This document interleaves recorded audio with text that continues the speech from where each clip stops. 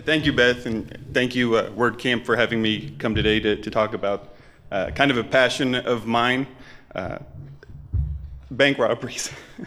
um, obviously, it's, a, it's a exciting to be here in Philadelphia with its rich history. Um, and I'm not talking about even what happened in 1776, although that's obviously very important to most of us. Um, actually, 22 years after that, 1798, less than a mile from here at Carpenter's Hall, was the first bank robbery in the United States. So it's very, very exciting to be here in Fitting. Um, obviously, bank robberies have kind of become part of American lore. We've all heard of Bonnie and Clyde and John Dillinger and Pretty Boy Floyd and Babyface Nelson, Jesse James, Willie Sutton. We could go on and on. I think what we hear less about is the people that died. In the FBI's Hall of Armor, Honor, excuse me, uh, more than half of those that have fallen in the line of duty have been bank robbery related. So they've died fighting bank robbers. Um, so what does all that have to do with WordPress? Photo blogging. Um, today I want to talk, take you through the last 10 years of, of kind of bank robberies in the United States uh, and kind of what we've done with WordPress uh, on a network of WordPress sites called Bandit Tracker to help fight, uh, fight crimes. So let me take you back 10 years to this start. This was uh, March 2017. Uh, and uh, I got an email from a friend of mine I'd helped with a, uh, a family blog. The email said, Anyway, I'm writing to see if your buddy, the guy that told me help me with your family site, would be interested in helping with the website for the FBI. that was kind of, kind of my response as well. I did kind of, uh, considering myself a reasonable person, I did what any of you probably would have done said, it's the FBI, they have their resources. I ignored it. so I, did, I was not a professional developer at that time. In fact, the primary successful website I had up to that point, in my opinion, uh, being a San Antonio Spurs fan and being tired of watching the NBA refs help the Lakers win year after year, I'd started a site, NBARefsucks.com. um, so we, we had a lot of fun with that. Um, anyhow, you know, I I just learned about WordPress, but I was excited about the capabilities and, and decided to take on the challenge. My first conversation with the, uh, the FBI, the agent shared me a bank robbery site that Maryland and Washington, D.C. had set up. And he sent me to the site. It was uh, uh, bankbandits.org. And this is what it looked like. And it was Mambo based. And in 2007, even Mambo was kind of out of date. right? Um, and obviously, Mambo would grow up to be Joomla. Um, but I was like, I know we can do better than this with WordPress. And I went and found some photo gallery plugins and uh, actually found a theme. This was the uh, WP Magazine theme, uh, 1.0 Developer Edition uh, by Michael Pollock at solostream.com. And I just kind of tweaked it to meet the FBI's requirements, and, uh, and we launched it. So really what I want to do now is just kind of take you through some of the things that we found are important, not just for photo blogs, but really for any website in general. Those things are obviously SEO, analytics, social sharing, quality media, scalability, and innovations. So to start, we'll start where the users start on, on Google with SEO. We kind of had it made, honestly. Um, we had links from FBI.gov and from media sites linking to images of, uh, of bank robbery suspects. You typed in bank robbery suspects, we were the number one result. It's pretty easy. You typed in a bank name, we came up. But then something kind of changed. How many of you have had a Google penalty? Anybody? A few of you? a few of you, anyhow. Uh, this was actually a little different kind of penalty. I uh, received an email. It says, the suspect called just a moment ago and that's what he can do uh, to remove the active wanted information from him on Bandit Tracker. he claims he was arrested, served time for his bank robbery, and then the outstanding wanted notice for him made it difficult for him to find a job. So, in researching that, I, I said, okay, let me check this out. Sure enough, I typed the suspect's name in Google, number one search result. And Google was nice enough to share an image of him robbing the bank as well for, for, for the uh, prospective employers. Obviously, they were excited about that. um, so, we didn't expect that, that people were going to vet their job applicants on Bandit Tracker. That wasn't our mission. It was to identify suspects. Um, and that kind of gets into our, our, our next topic, analytics. How, why are people coming to the website? I love this quote. torture the data long enough, it will, it will confess. And that's never been more true than on Bandit Tracker. Um, we found some, uh, some really interesting things through our analytics, obviously Google Analytics. Uh, we had visitors from all seven continents, even Antarctica, which is not important at all to bank robberies, but it was kind of cool to know there's internet access in Antarctica. so I'm, I'm looking forward to uh, the uh, WordCamp Antarctica. And if I can get a direct flight from San Antonio, I'll speak. not likely to happen, but uh, we can try. Uh, but we found some other things, and I don't know if, if, you guys have noticed, but if you have the question mark S equals and then a term uh, in a URL on your content, it's a term that's been searched on the website. And people search everything on Bandit. They search location names, they search bank names, they type people's names, a lot of people's names. And uh, early on, I was interested in people doing searches, and really, there were so many name searches. I wanted to see names that were searched multiple times, and I found one said, hey, okay, why did this person search this name? And then when I looked at the user session, he actually typed two other names in his searches. Okay, well, and how did he get there? So we looked at the source. It was Google. Great, we could get a keyword too. So here they typed keyword Fort Worth Crime Stoppers March 2000. So now we have a place, a location, and names speci tied specifically to that. Excuse me. The location actually of this visitor was Mexico City, Mexico. So here's somebody from more than a thousand miles away in a different country concerned about a specific crime event in Fort Worth in March of 2000. And obviously, I forwarded this information to the bank robbery coordinator there who said, That's what we in the FBI like to call a clue. Go. Um, so this was, again, this was early on. It actually got a little more formalized later, and then I started receiving things like this from the FBI a subpoena to testify before grand jury just to have a more official way of supplying this information. They asked for the same things. In this case, they wanted everything related to uh, the reckless robber or reckless bandit, and they wanted to know anything that was searched, the visitor's time and location, all the data that we could provide to them about that. Unfortunately, doing things this way, about the time I received this request, uh, the reckless robber got a little too reckless and was killed in a shootout. um, obviously, we would have preferred him emailing us saying, "Hey, can you take my wanted active poster off of the uh, off of the Bandit Tracker site?" Uh, but again, he was a little reckless. Uh, next thing I want to talk about social sharing. Everything you post on social media impacts your personal brand. How do you want to be known? Early on, again, it's 2007. Twitter had a thousand users. I think Facebook had 12 million users, so not where it is today. So we started off with RSS feed, FeedBurner, right? We could get you email updates. Uh, we did add Twitter, Facebook, and other feeds as we moved forward. Um, now, something that the FBI does to kind of help brand the suspects and make it easier to share is they come up with uh, nicknames or monikers for any bank robber that's robbed three or more banks. In this case, it was the earlobe bandit. The earlobe bandit, they called him that because he wore the large gauge earrings in his ears when he was robbing banks. And he was arrested as a part of social sharing, as you'll see here. It wasn't this bank surveillance picture that led police to 19 year old Anthony Blue. It was his own mother. It's very difficult for a mother to do what his mother did and actually turn in her own child.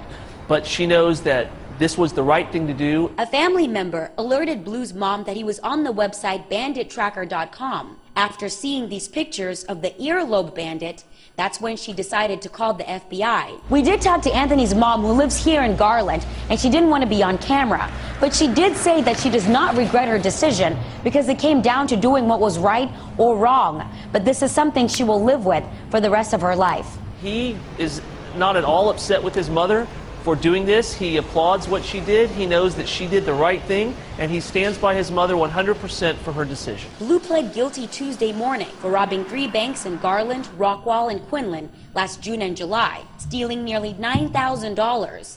From the start, Anthony's really remorseful about what he did. Even the notes that he gave the tellers all said, I'm so sorry that I'm doing this. Blue's lawyer says he turned to crime to pay off his debts. Temi Mutasa, NBC. Th- thanks, mom. All right. Um, actually, I was I was watching this with my kids this week, and my daughter said it was probably his sister because that's a sister's job. to turn in their brothers. It's like, hey, mom, did you see what Anthony did? Anyway, um, so as you can see, we we had images of Anthony. You can you can't really tell that he has the gauge earrings in most of the images, um, and that's kind of leads into what we want to talk about next, and that's getting quality media on a site. Quality is never an accident. It's always the result of high intention, sincere effort, intelligent direction, and skillful execution. It represents the wise choice of many alternatives. Unfortunately, we didn't have a lot of alternatives. Uh, we didn't want other um, victims to be in images. We didn't want tellers. We didn't want customers of the bank to be in images. And we were trying to find good images, obviously. Um, on Bandit Tracker, for photo blogs, we had the worst images ever. As you can see from the images here, first image, we have a kind of a grainy magnetic tape that's been recorded over probably dozens of times. We had a, you know, artist sketches. In fact, they called me from this bank and they said, "Yeah, we want to add this suspect to to Bandit Tracker, but the uh, cameras at the bank were out." I'm like, well, "Thanks, thanks for calling. How can I help you?" Um, and then obviously this last one was a digitized, zoomed in version as well. Now, these suspects here, or this suspect, this was the ZZ Top Bandit. And this was his second career in bank robbery.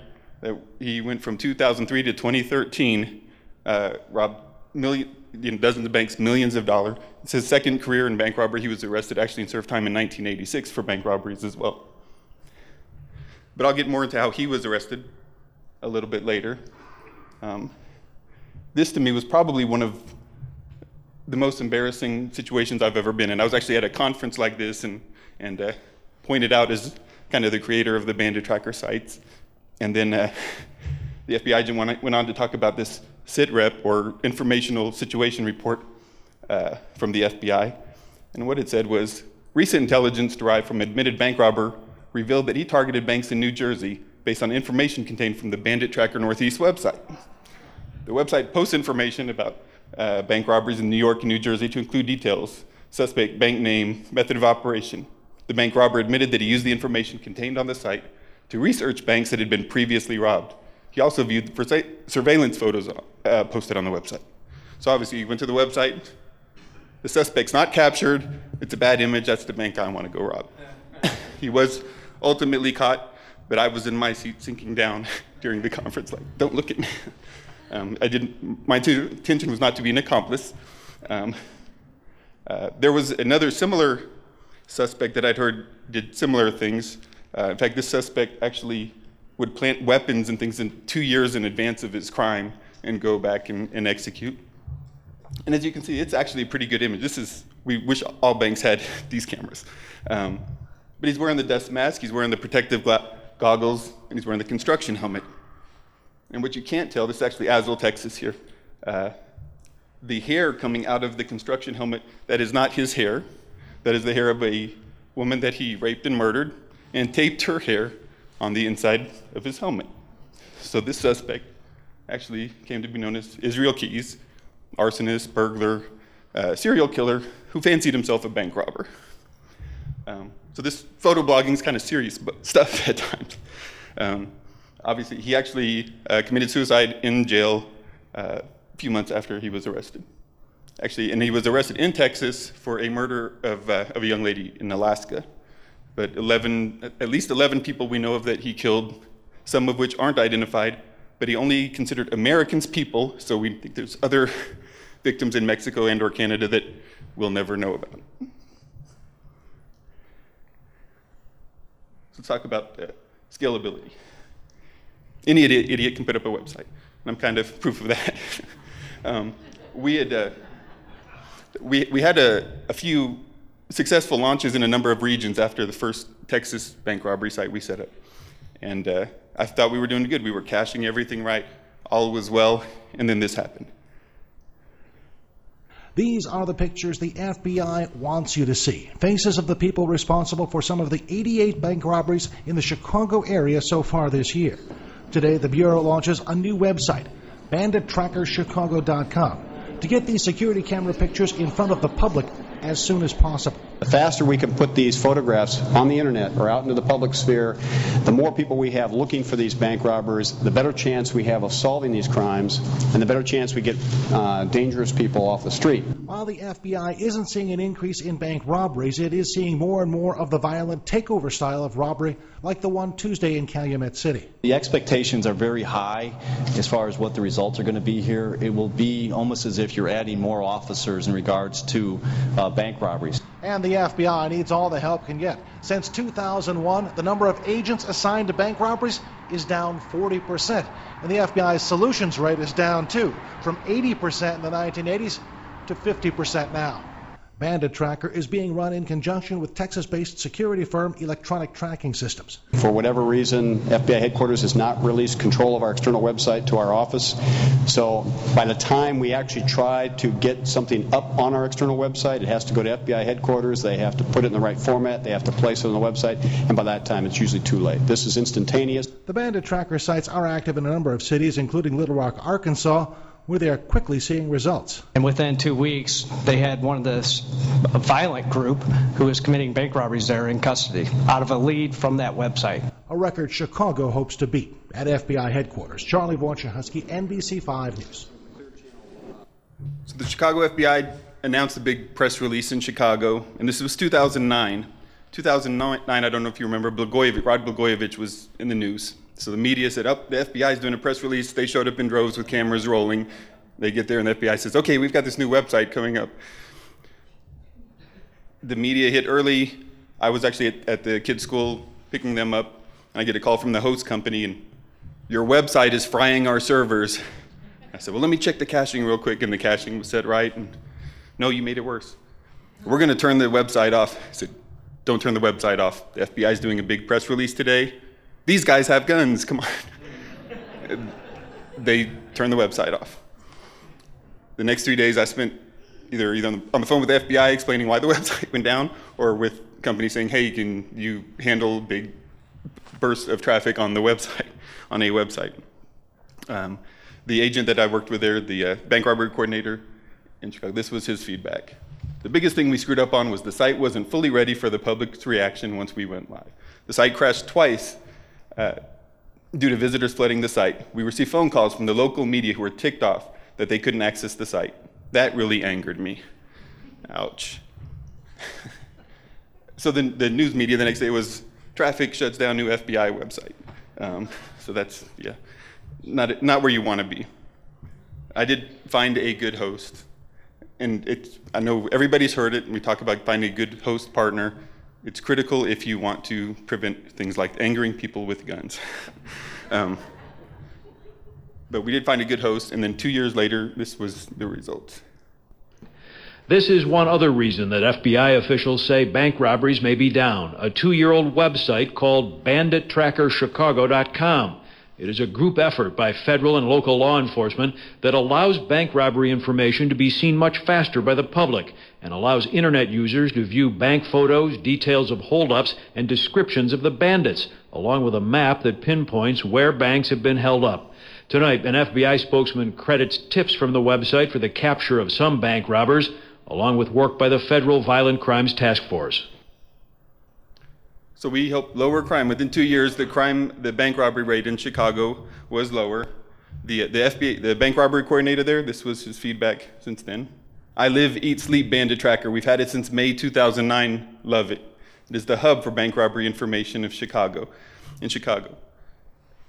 So again, make sure that your, your host provider is a partner. Make them love the site. Don't anger, don't anger the clients.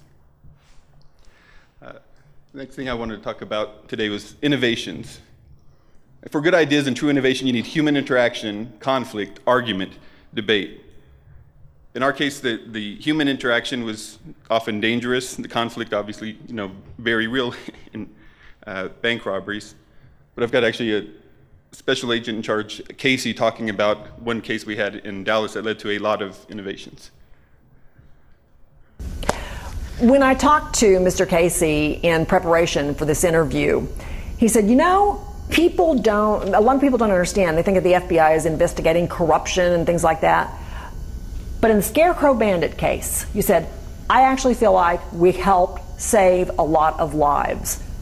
Tell me about that. Oh, absolutely. I'm convinced that uh, whether it was the life of a responding police officer, one of these bank robberies, or a citizen or bank employee, or an FBI agent conducting the investigation, uh, this was really uh, a life and death situation. They had robbed 21 banks across the Metroplex. They were what we call takeover bank robbers. They go into the bank uh, and they, they take the place over uh, with weapons, uh, get behind counters often, get in the vault often. So very, very dangerous crew. We, we saw a pattern of the use of long weapons. We suspected they were wearing, wearing bulletproof vests, uh, which turned out to be true. Um, signaling, lookouts, uh, switch cars, uh, the whole deal. So the, the Scarecrow Bandits in North Texas were they robbed over 20 banks, very dangerous group. As Special Agent in Charge Casey said, they were wearing bulletproof vests, uh, had very weaponized, very dangerous, violent group. Everyone involved knew people were going to die when these guys finally got caught. Um, actually, through their investigation, they found out that they actually left all of their weapons and bulletproof vests in the trunk of the car till they got to the bank, which actually kept people alive at the end. Um, but for my part, it's like, what can I do to help capture these these scarecrow bandits? What can I do on the website? So I kind of made an enhanced page. It was just scarecrow bandits, and we put a gallery. Actually, this was at a press conference where they'd blown up a full-size page of the uh, of the website that uh, SAC Casey is walking past but I wanted to do more. I wanted to map all of the bank robbery uh, locations that they had uh, that they had gotten into. Um, went to the WordPress repository. I didn't really find a plugin that worked for me, so I came up with one and I uh, released it. The Google Maps geocoder. For those of y'all that may have used it, I, I apologize. um, for the people that are still using it, stop. it doesn't work anymore. Um, the feedback from the FBI at that time was was great you know, great job with the Scarecrow Bandit page. Some of the best info on the Scarecrows is coming from people viewing the site. Amazing how a crackhead can get on the internet, but $90,000 reward is very motivating. yes, yes, it is. Um, and at the same time, I was making these changes. The FBI was, was doing some innovations of their own.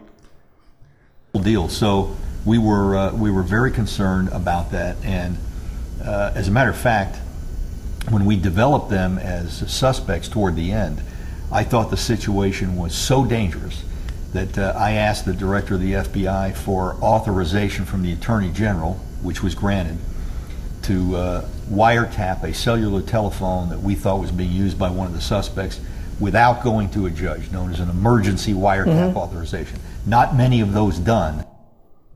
So, someone researching this case actually told me this was the first case of the FBI wiretapping a phone without a warrant and I don't know that that's true. I think this is the first time they've publicly admitted to a case um, of wiretapping a phone without a warrant.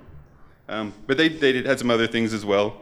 Uh, FBI is pushing for cell phone tracking, so then the next time you're venting about the NSA, you know, tracking phone calls and things like that on your blog, just remember in, in some obscure way, WordPress has kind of led to uh, vetting that, hey, maybe that's not such a bad idea. Um, what happened? It works. I mean, Scarecrow Bandit hit with 354 year sentence for holdups. Another Scarecrow Bandit, 29 life sentences. As one article put it, Scarecrow Bandits could be free by early 24th century after a Pill's victory.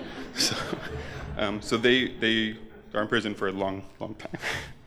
Um, another thing I, I found in actually getting ready for this presentation, they actually are coming out with the Scarecrow Bandits movie next year, a fictionalized account of, of how these uh, bandits were arrested and some of the cell phone tracking and, and um, tapping came about.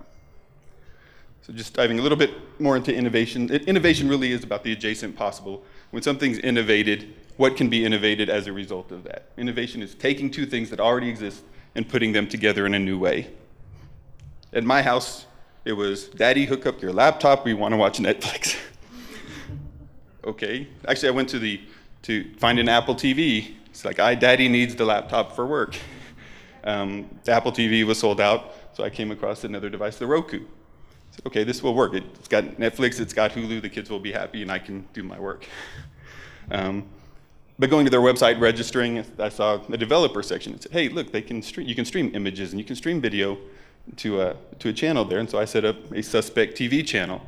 Like, awesome, this is great. And it was more academic for me. Hey, can I do this? At that time, I had about 5,000 email subscribers to the Bandit Tracker sites, and uh, said, "Heck, if half those people ever get Roku and set it up, I'll have 2,000 subscribers to this channel." And then I got my first my, uh, my first uh, AWS bill afterwards, and I'm like, why is my bill so high? And there's like 66 million images have been streamed from your from your AWS account. And today we have actually over 35,000 active subscribers to Suspect TV, just watching images of bank robbers streaming by. yes, exactly. Um, and the FBI has been innovating as well.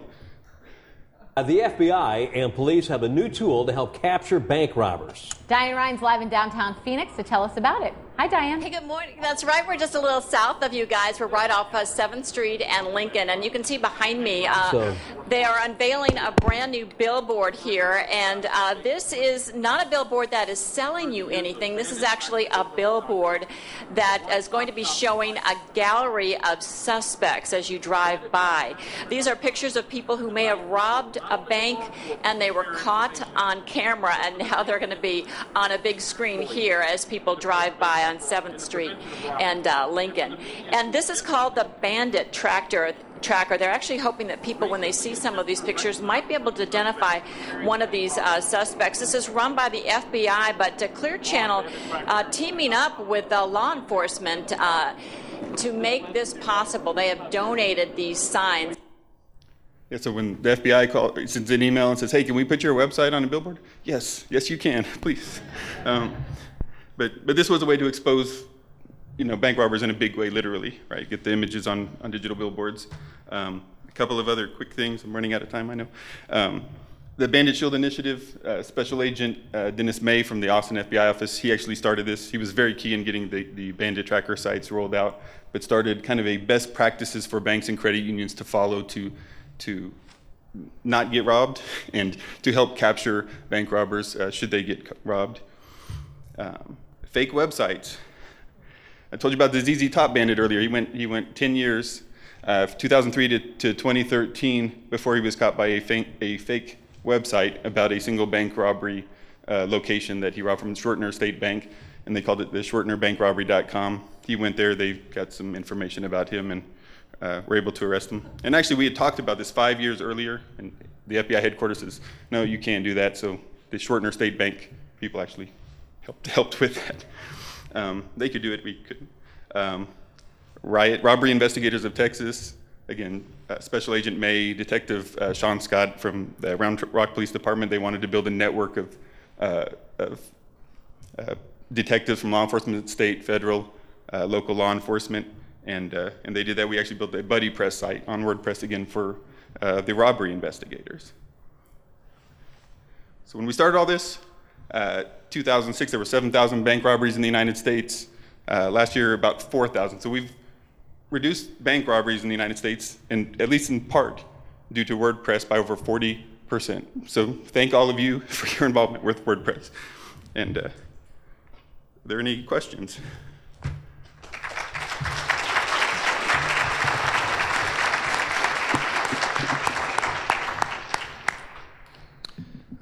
Thank you. That was an amazing presentation. Um, what, could you back up to the fake websites I didn't catch? Something about an innovation. Was it like a way to? Was it, was it copying the, the concept? So the the fake website. Um, in 2008, actually, uh, the special agent called me and he said, "Look, based on the profile of of this bank robber who's who was getting his very, I mean, he was going into banks and clearing out every, he was clearing out the vaults, clearing out all the drawers, getting all the money, and within three minutes he was gone. Um, so in 2008, he's talking to me saying, hey, could we set up a website that, that would attract this guy to read about himself? And, uh, said, yeah, we could do that. We'll set up a WordPress site, whatever. We went to headquarters with it, and they they shut the concept down. Um, Schwertner State Bank um, is a small bank in, in Texas, and was I think they were aggressive, and they were like, what can we do to help? And so they actually set up their website themselves and just monitored the traffic going to the site, and they said, hey, here's this person that keeps coming from Fort Worth, and they ended up uh, finding the uh, the suspect that way.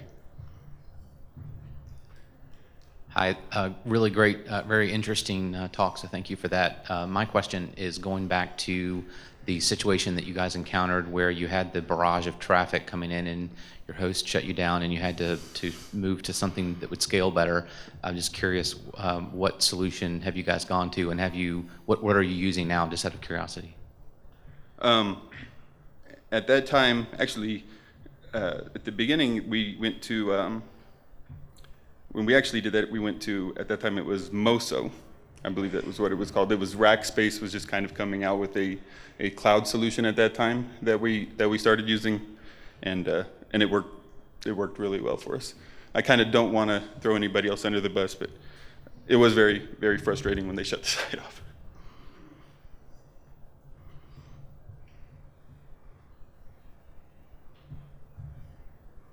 Anybody else? I have a real quick question. Okay.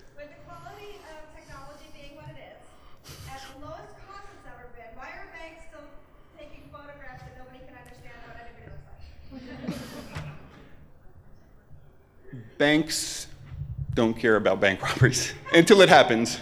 Um, they are losing so much money in fraud and, and things of that nature right now that bank robbery is like in the back of their mind, right? They're trying to get in front of the credit card fraud. Um, it's like, oh, you want us to spend more money in this? Um, a lot of the marked bills and things like that, nobody does anymore, right? It's like, why are we going to have this million dollars in marked bills set aside for bank robberies when we can have that in circulation? Um, so I would say, for for the most part, there's an investment there that they have to want to make, and they lose so little money really on bank robberies compared to, to fraud and other situations. This is nothing to them. Sir. Is this a site that's funded by the government? No. It was privately funded. Um, the, the question was if the site was funded by the government. No, the site was not funded by the government. Um, there was, they actually had, for me for a while, they had, I was set up as a confidential human source, which essentially means they can give me money and I take it. Um, but there was, um, there was uh, a, uh, um, sponsors as well for the, for, depending on the region, there was um, corporate sponsors who were covering the cost of having it developed and uh, again memorandums of underst- understanding of how it was going to be used. But the FBI posted all the suspects. I mean, they'd go in the bank and you would see the suspects on Bandit Tracker before you'd see it in the the uh, FBI's crime index even.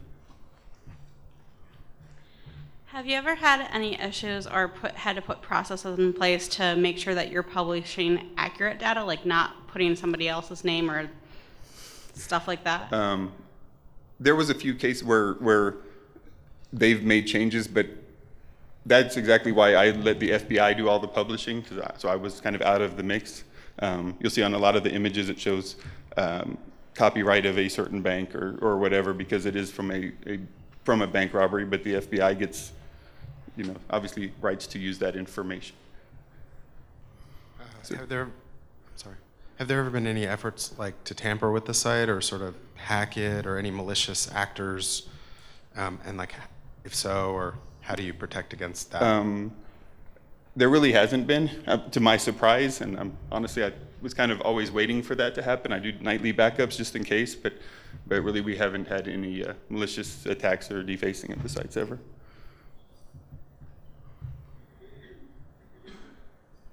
Anything else? Okay, thank you.